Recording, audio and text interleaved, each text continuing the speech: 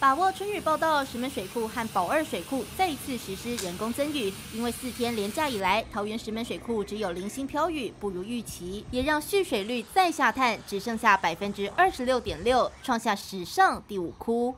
水情比较呃，相对于正常是比较呃略微差一点的，虽然雨量不大。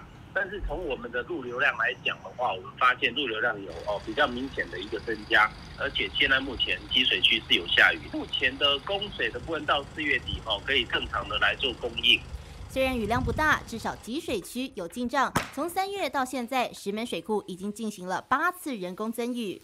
板新地区也改从翡翠水库调水供应，每天最多八十一万吨。农业灌溉则多使用皮塘水源，透过整体调度稳定水情。台湾的蓄水量哦，因为主要的水库的蓄水量都是呃区域的来调度，未来三个月的民生及公共支出。都是可以满足的。目前的这个整个全台的水情都是十分的稳定。看看台湾目前主要水库蓄水量，翡翠水库还有七成多，石门水库跌破三成，宝山、宝二、明德和鲤鱼潭水库也只剩下两成、三成多。